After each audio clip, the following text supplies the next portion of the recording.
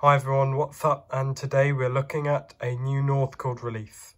Today we're looking at the brand new uh, Vectis Alexander Dennis E400 MMC.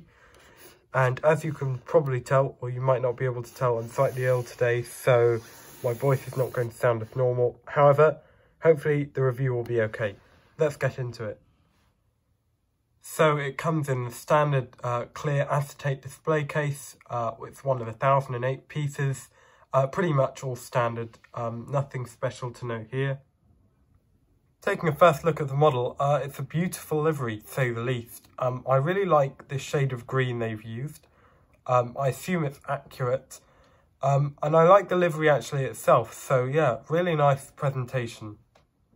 The front lights have been done really nicely, uh, as have the front destination. Uh, it's really clear, um, really nicely positioned, um, and I really like the logos as well. Um, it's a well-presented model, to say the least.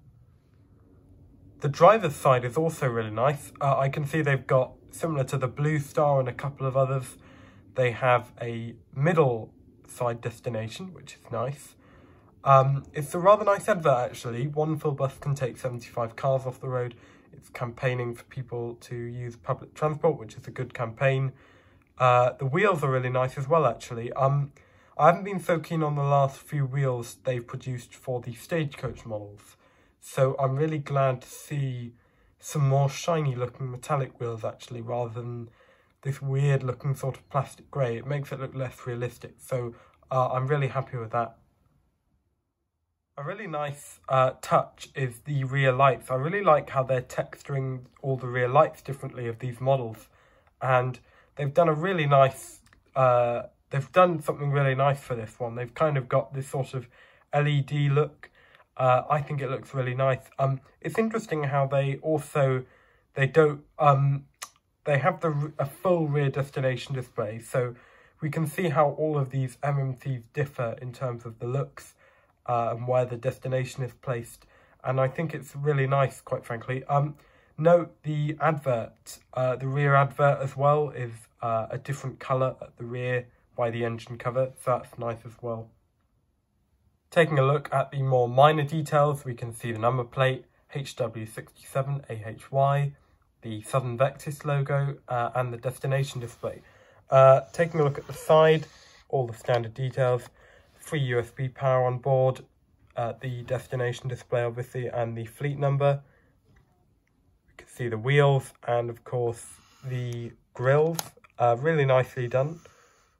Uh, as I mentioned, the nicely textured light, rear lights, uh, the rear advert, and of course the rear exhaust, free USB power on board.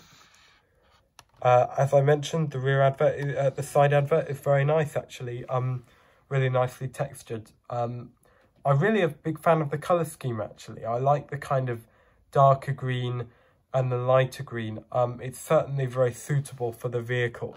Uh, yeah, really impressive. I really like the look of this model, um, to say the least. The only thing I would say um, is that the mirrors, this or at least this one's mirrors, are positioned slightly awkwardly.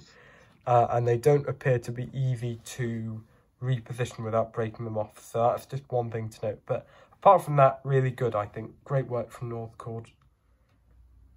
So overall, I think this model is a great representation of the vehicle it represents. Uh, it's really accurate, really nice looking, and I think it would make a great addition to any collection.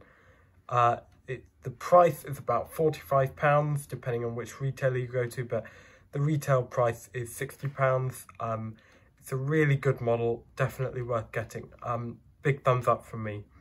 Anyway, thanks very much for watching this video. Uh, we've got a lot of new releases uh, in terms of MMCs. In case you haven't seen, I did post to the community tab, but Northcord have announced not only that they'll be doing more MMCs, not only that they'll be doing open top ALX 400s, more of them, but that they're actually working on a new casting of an Enviro 400H City. Uh, that will come out in about a year's time. We'll we'll hear more from that. Anyway, really exciting. Uh, but I'll catch you in the next video and bye for now.